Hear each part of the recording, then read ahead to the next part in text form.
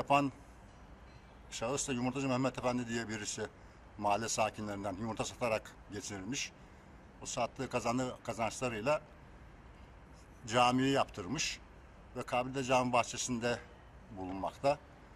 O zamandan beri de hizmet vermekte mahallemize.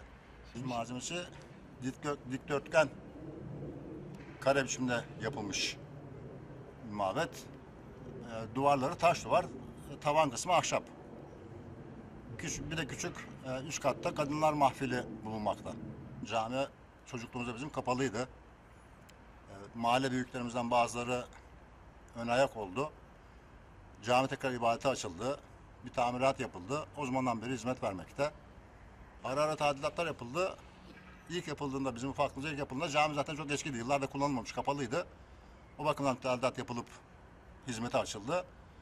İşte ara ara Vakıflar Genel Müdürlüğü'ne ait olduğu için vakıflar ara ara tamirat yaptı. En son 1999 Gölcük depreminde hafif hasar aldı. O zaman bir tamirat yapıldı. Başka bir tamirat olmadı. Yumurtacı Mehmet Efendi tarafından yapıldığından beri ağır hasar almamış. Ufak tefek bakımsızlıktan dolayı olan tamiratlar olmuş. En sonunda 1999 Gölcük depreminde hafif hasar aldı. O zaman bakım tamir yapıldı. Yumurtacı Mehmet Efendi'nin kabri caminin bahçesinde olduğu hatta mezar taşları var orada Osmanlıca yazılı onu biliyoruz.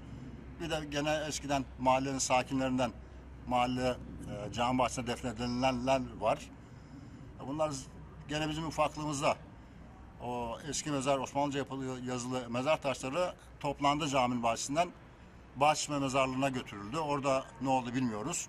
Bir kısmı da caminin bahçe duvarları örülürken duvar taşı yerine kullanılmış.